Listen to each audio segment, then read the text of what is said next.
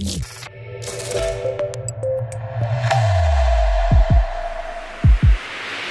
Ministère Transport Terrestre et Métro Léger organise un concours d'essai pour les enfants entre 5 et 12 ans. Le thème Street for Life. Les participants à travers le dessin pour transmettre un message sur la sécurité routière.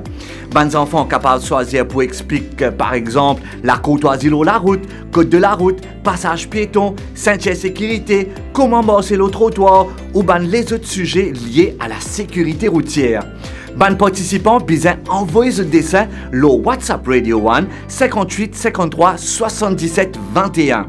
Comme premier prix, c'est 10 000 roupies. Deuxième prix pour remporter 7 000 roupies. Troisième prix pour gagner 5 000 roupies. Quatrième jusqu'à douzième prix, 3 000 roupies. Prends le papier, prends le crayon à dessin, watercolor et commence à créer.